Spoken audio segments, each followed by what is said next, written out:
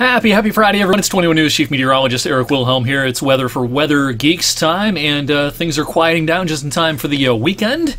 Our next chance of precipitation is going to be rain and not snow, but we are off to a fast uh, start, I should say, in the snow department here in December, officially at the airport, with the 2.6 yesterday and uh, early this morning another 0.9 officially tallied up. That brings us to 6 inches. Now, last December in 2023, we had about 4 inches for the entire month, so we're already way ahead of last December's schedule, and uh, compared to average, we're 3.7 inches above the average through the first six days of the month. You know, whenever we have a semi important or major snow event, we, we like to grade ourselves, hold ourselves accountable, and wanted to show you how our final snow forecast put out Wednesday evening compared to reality. This was the idea that there'd be six plus inches northern tier of Trumbull County, northern and eastern Mercer County, three to six, perhaps as far south as Route 224, and then one to three south of there. Here's what actually happened. The forecast was really good up here.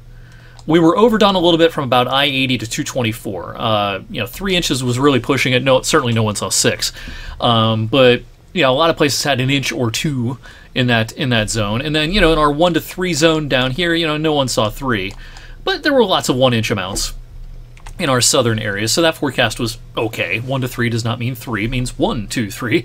Um, so this is where we struggled a little bit with our snow lull that occurred a lot of the um, midday and afternoon yesterday. We had some you know, bona fide snow showers last evening that certainly dropped some modest accumulations. But all things considered, this was not a bad forecast for our area. And, uh, you know, we're in the middle of a, or we're getting started, I should say, with a pretty quiet stretch that'll take us into the weekend. Could you see a, a renegade snowflake this evening? I, I, can't rule that out, but it's nothing, nothing to write home about, nothing of any consequence. There's actually a weather disturbance pivoting through the lakes as we speak, and it's producing, you know, some some lake enhanced snow in the southern tier of New York along Interstate 86. What else is new up there?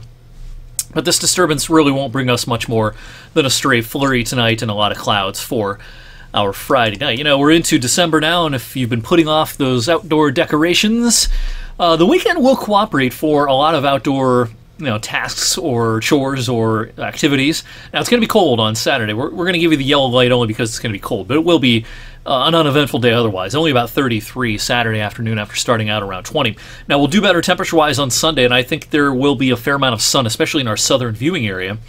As we go into Sunday afternoon, there'll be a little bit of a breeze blowing around those outdoor decorations, but this is a good weekend to take care of a lot of those things. Uh, rain is likely on Monday, and of course, as we head deeper into December and closer to Christmas, you know, uh, there may not be that many great weekend opportunities for outdoor type work. All right, so, so futurecast for our weekend will will you know kind of show how quiet things will be. This is a warm front that will lift in later on Saturday, and we'll notice the effects of that front, especially by Saturday night, because temperatures really won't drop. In fact, they'll start to rise a little bit Saturday night, paving the way to a mild day coming up on Sunday. Some sunny breaks on Saturday. Sunday sky cover probably starts out fairly cloudy, and as I mentioned, in our southern viewing area, that's where we have our best chances of seeing a good deal of sunshine Sunday afternoon. I think our model here is a little too cloudy overall, but in our northern viewing area, we may hang on to some clouds for a time on our Sunday. But uh, I like what our model's doing here with the rain Sunday night into Monday morning. This is looking faster and faster. That's been the trend on the modeling. So we're going to get this rain late Sunday night into Monday morning, but it's going to taper off pretty quickly before lunchtime, probably on Monday.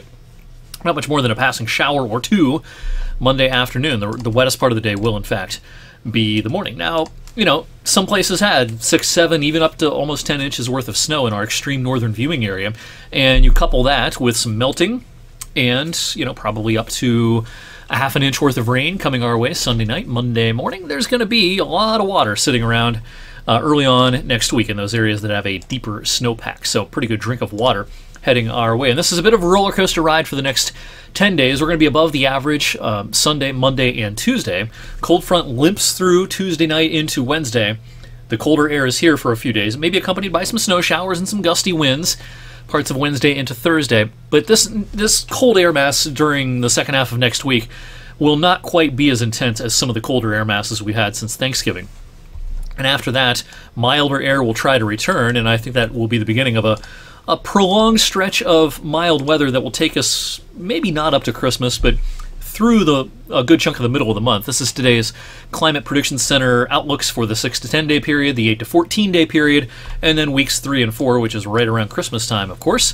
And uh, what you see here is, you know, pretty high confidence that we're going to have a warmer than average stretch, especially during this period, uh, starting next weekend and taking us into that following week.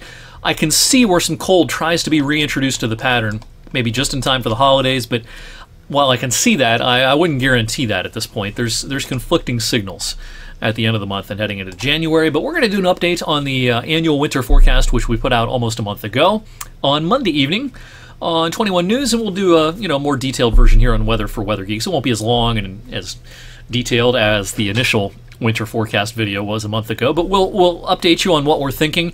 And if you've been watching my videos this week, you know I've been talking about how I think it's going to be a colder winter than we thought it would be about a month ago, and it's probably going to be a colder winter than our last couple of winters. Um, that's not saying much because it's been so warm, but I think it'll be a fairly significant change. It's not going to be a winter you're going to be telling your grandkids about or, or anything like that. It probably is not going to rival, you know, the, the, harsh winters we had about 10 years ago. I, I don't see that happening, but I can see where we're going to have more wintry interludes, certainly, than we've had over the last couple of winters. So we'll talk all about it Monday evening. In the meantime, have a great weekend. Thanks for watching Weather for Weather Geeks tonight and all week long. And uh, again, have a great weekend, everyone.